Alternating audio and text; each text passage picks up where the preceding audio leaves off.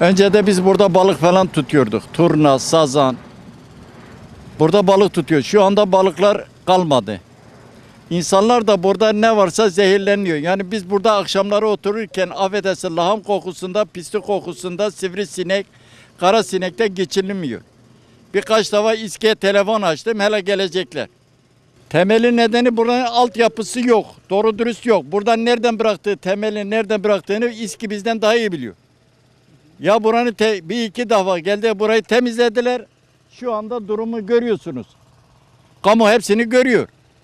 İSKİ iki defa temizledi. Ama doğru dürüst temizlenmedi. Şu anda Kötü koku da var herhalde. tabi tabi kötü kokuda zaten akşamlar hiç burada duramıyoruz.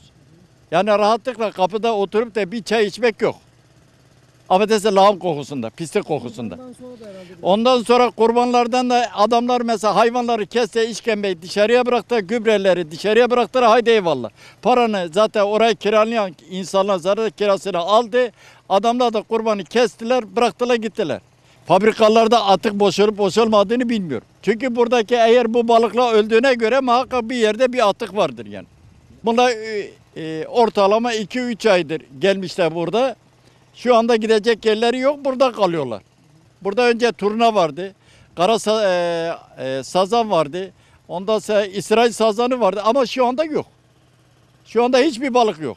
Mahalle sakinleri olarak bu durumdan rahatsız. Biz mahalle olarak komple rahatsızız. Yani sadece bir kişi şahıs değil.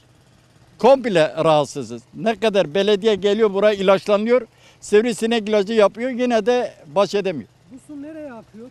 Bu su doğru Ali Beyköy Barajı'na akıyor. Burası komple e, Türkiye Cumhuriyeti vatandaşı bu pisi içiyor.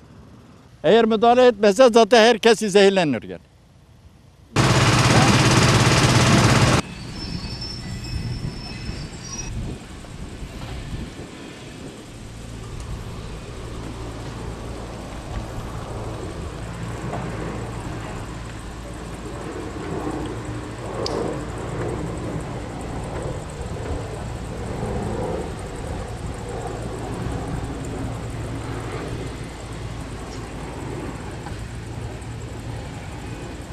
Vallahi çok kötü durum. Kendiniz görüyorsunuz.